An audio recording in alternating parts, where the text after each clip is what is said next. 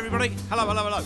Uh, my name's Peter Long, and this is a little advert for a new bi weekly broadcast we're going to be doing on the YouTube channel or the Facebook page, Jazz at the Golf Club, bringing you good Sunday lunchtime golf club jazz that swings that you're going to love.